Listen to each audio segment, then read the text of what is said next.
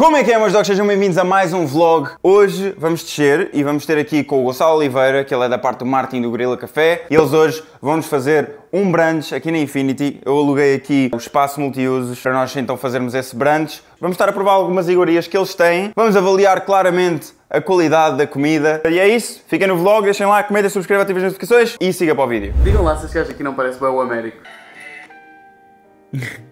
É igual, what the fuck? Isto é o Américo. é igual, bro. É igual, é igual. Eu queria abordar este assunto. Lembram-se quando eu disse que isto era um de 24? Eu enganei-me, isto é a escala. E yeah, isto foi bem mal. Primeira enganado-se. Vamos então seguir lá para baixo. Bem, o Gonçalo e a Rita já chegaram e já têm a comidinha toda aqui pronta, portanto estou ansioso para ir provar estas coisas. Vamos agora aqui à sala multiusos da Infinity, que ainda nunca na vida usámos. Tem aqui um montão de chaves, vamos lá ver se nos orientamos. Pessoal, vamos dar uma introdução à marca. O Gonçalo vai explicar um bocadinho a marca e para vocês ficarem a conhecer, se já não conhecem, porque eles estão no Saldanha, né? Ou seja, Avenida Duque da Vila, e também estão mais aonde? em Nova Iorque. Ou seja, a loja foi aberta cá. Primeira e única loja cá em Portugal. O que é que tu dirias que é, portanto, neste conceito, o que é que diferencia o estilo nova-iorquino de um português, para aquilo que vamos fazer hoje? Primeiro, é tudo feito pelo Vanilla Gorilla Café, desde o café, que tem origem em seis países diferentes, depois é na, em- na Itália, acontece ali uma magia e é enviado então para, para Nova Iorque e para Portugal também. E depois, obviamente, os pastrinhos, que é um produto completamente diferenciado. Pastrinhos. Pastrinhos, Pastrinhos. ok. Que é ser um coração enrolado em forma de, de wrap, depois recheado com doces ou salgados. Estou curioso por esses pastrinhos. E as bebidas, pronto, e acima de tudo também pastelaria, desde os muffins, cookies, Ok. cookies, brownies. Então agora isso? uma novidade que é o coração. Também feito pelo Vanilla Gorilla Café Ok. e tem ainda dentro recheado com, com amêndoa, por exemplo. É isso, pessoal, vamos ter uma experiência diferente, sendo a primeira loja cá em Portugal do Gorilla Café, sem dúvida que vai ser uma estreia aqui no canal. Vamos embora.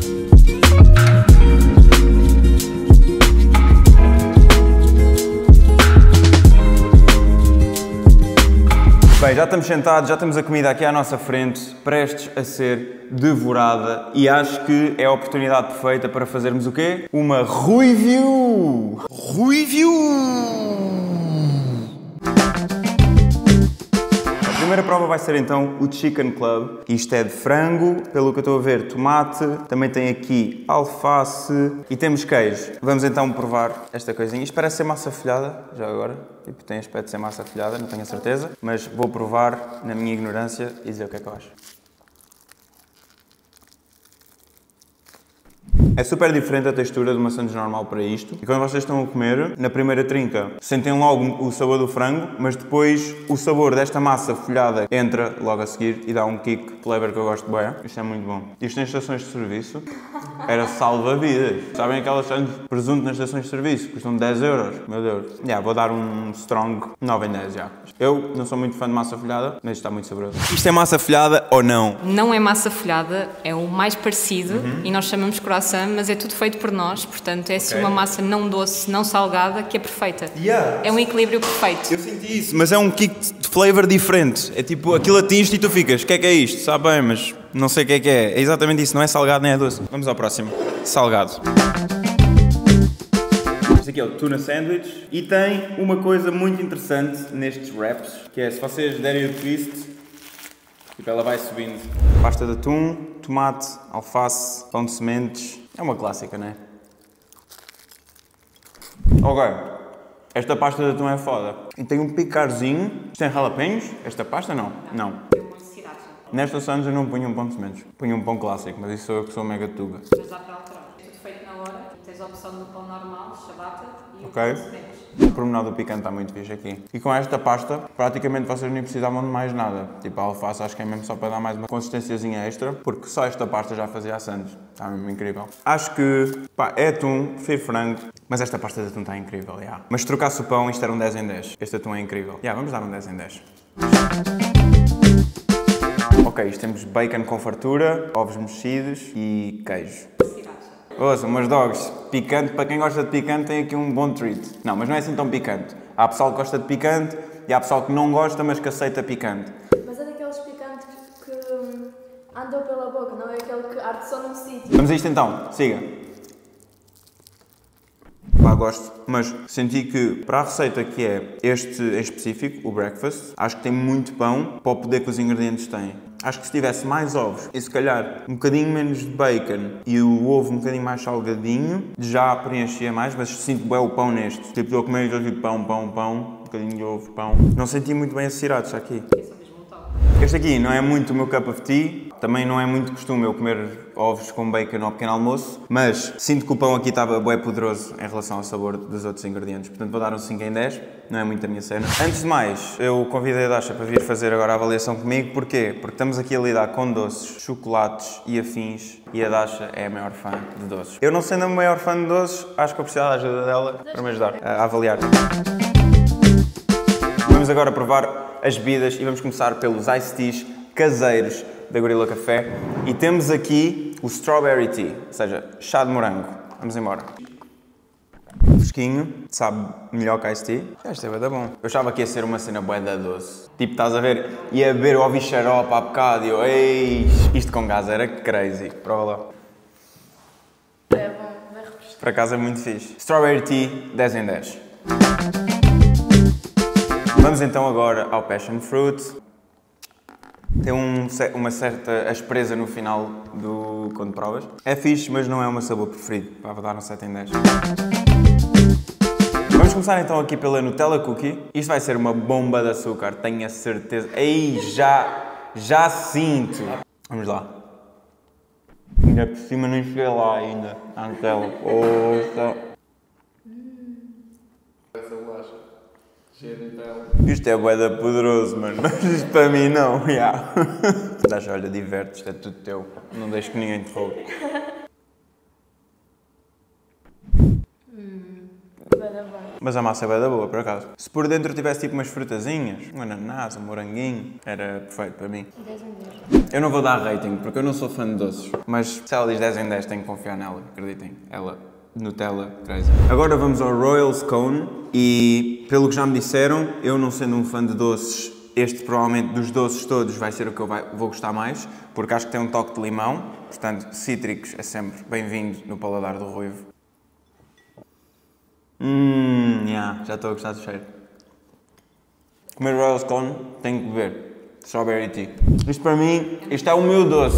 Bem, aqui o Royal Scone, acho que é muito bom com leite, geleia e pá, líquidos no geral, porque isto é só uma base seca para vocês estarem a dar mantes, basicamente. É com base de manteiga, um toquezinho de limão, acho que está muito bom, vou dar um 7 em 10, porque não é também muito a minha praia. Força, força. Bem, agora, agora vou provar outra vez. Yeah, lá está, isto não é a minha praia. Mas pá, eu quando vou ao Starbucks é porque tu me arrastas para o Starbucks, não é? Então é melhor. pois, yeah, basicamente. Já estou a ver que sim. Yeah, é bom, é bom, mas beber isto não te enjoa, tipo... Não. Epá, eu não consigo, eu sou muito de...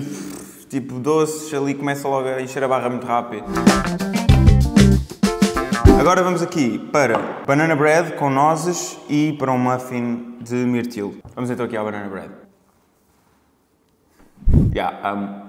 Hum, ok, isto eu adoro. Nozes, hum, o pão é tão bom. Isto é incrível. Que bom, prova isto. Isto é mesmo bom. É, vai dar cheiro bom. Tanto doce, mas é bom. 10 em 10, para mim, este coisinho, perfeito. Para quem não sabe, frutos secos é comigo, amo nozes e avelãs, coisas desse género, amendoins. Aliás, antes de vir para aqui estava a comer amendoins à toa, portanto, é muito a minha cena. Banana bread. Queres provar? Prova lá isto. É um é? É semelhante. Dá para perceber que curti do strawberry, né?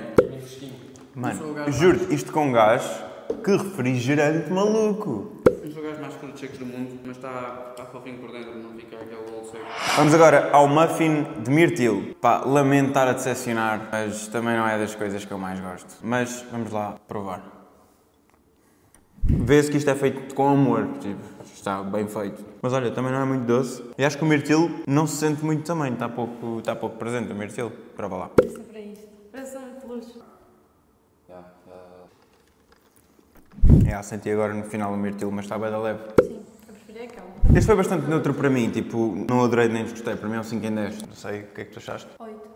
Vamos deixar agora para o último a novidade do Gorilla Café. Isto ainda não saiu, não está no menu, mas vai estar muito em breve. E não é nada mais, nada menos do que um croissant de amêndoa. E tem. Isto é o quê? É uma pasta de amêndoa, também feita por nós.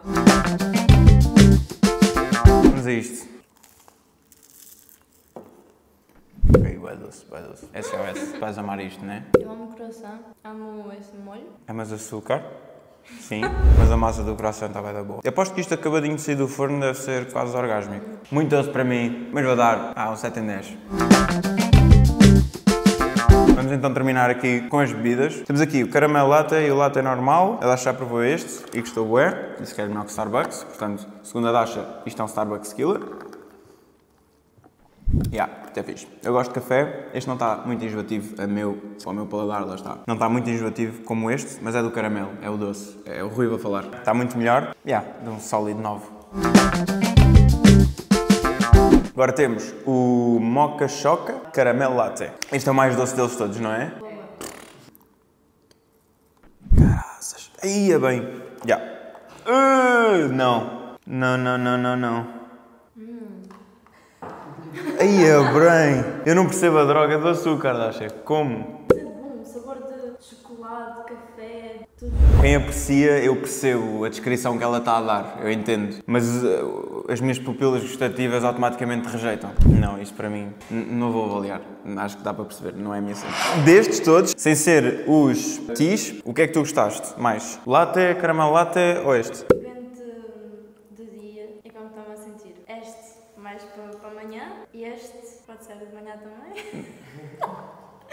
não, eu gostei bem desses. Quando apetece algo doce, mas não queres comer e queres beber algo. Ok, mas não- nunca na vida tu ias beber isto com uma cookie de Nutella, certo? Há limites também para este tipo de pessoas. Vamos então fazer uma review geral a tudo isto. As sandes para mim foram o melhor. Eu, sem dúvida alguma, se estiverem no Saldanha e quiser almoçar, passo no Gorilla Café e vou comer um Chicken Club ou então uma tuna sandwich, 100%. Adorei a tuna hum, paste, boa da boa. Doces, não é a minha cena, mas lá está, estamos aqui a provar e a ver a qualidade deles e ainda bem que a Dasha estava cá porque ela aprecia doces, portanto ninguém é melhor que ela para vos dar esse tipo de review. Adorei os tis. Este aqui, pronto, não gosto muito desta fruta, prefiro mil vezes o de morango e já disse, isto gasificado é um refrigerante tipo, mesmo perfeito para mim. Honestamente, para mim, isto sendo, como a Dasha disse, um Starbucks killer, porque é, segundo ela, tem mais qualidade do que o Starbucks e sabe melhor os doces. Eu não consigo aver- averiguar por aí, mas acho que vou dar um sólido 9 em 10. Experimentem e digam-me nos comentários o que é que vocês acharam.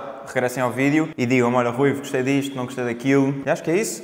Damos por encerrado esta review. Review! Ok, meus dogs, espero que tenham gostado deste vídeo, desta review e aproveito este momento para dizer que quem quiser provar estas coisas que nós tivemos a provar hoje, mesmo na localização deles no Saldanha, Gorila Café, vocês vão ter 10% de desconto se disserem o meu nome à entrada. Aproveitem isto, acho que é uma boa oportunidade para irem provar as comidas e. Fiquem vivos para o próximo. Seus cães. Uh!